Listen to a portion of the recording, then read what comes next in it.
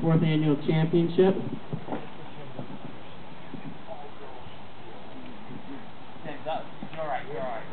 As much as I wish I was giving my own, giving myself back this trophy, I lost it to someone who played a solid game and he earned it fair and square. So it just gives me incentive to win it back and say congratulations to Mr. Scott Siegel.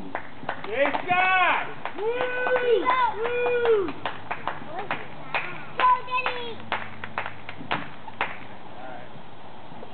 Few words, Scott. Few words. Amen. Champion.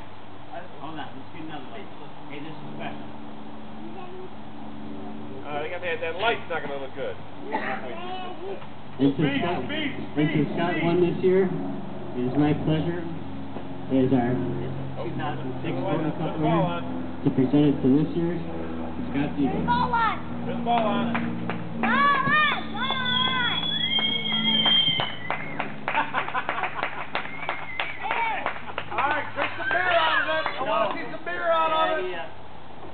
Tried that before. That was a Hold bad idea. I want to see a handshake action.